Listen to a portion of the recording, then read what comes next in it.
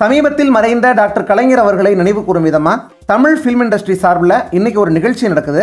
அந்த நிகழ்ச்சிக்கு சில நிமிடங்களுக்கு முன்னாடி சூப்பர் ஸ்டார் ரஜினிகாந்த் அவர்கள் வருகை தந்திருக்காங்க.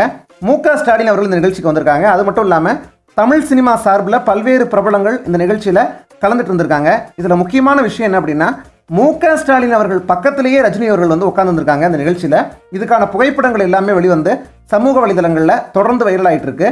ரஜினி அவர்கள் மேலே கலைஞர் அவர்களும் சரி கலைஞர் அவர்கள் மேலே ரஜினி அவர்களும் சரி எந்த அளவுக்கு அன்பும் பாசமும் வச்சுருந்துருக்காங்க அப்படிங்கிறது இதுக்கு முன்னாடி பல்வேறு மேடைகளில் பல்வேறு நிகழ்ச்சிகளில் பார்த்து நம்ம எல்லாம் தெரிஞ்சுட்டு இருந்திருப்போம்.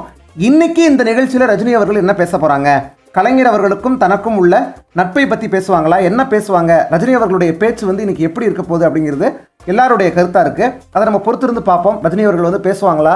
என்ன பேச போகிறாங்க அப்படிங்கிறத பொறுத்திருந்து பார்ப்போம். அப்படி ரஜினி அவர்கள் வந்து பேசினாங்கன்னா என்ன பேசினாங்க அப்படிங்கிறத விளக்கி இன்னொரு வீடியோ நிச்சயமாக பண்ணுவோம். அதனால் இந்த வீடியோ உங்களுக்கு பிடிச்சிருந்ததுன்னா ஒரு லைக் போடுங்க எல்லாருக்கும் ஷேர் பண்ணுங்கள் இதே மாதிரி அப்டேட்ஸ் உடனுக்குடன் தெரிஞ்சுக்க. தமிழ் பிழை சேனலை சப்ஸ்கிரைப் பண்ணுங்கள் அதுக்கு பக்கத்தில் வர்ற பெல் சிம்பிளை மறந்துடாமல் கிளிக் பண்ணிடுங்க.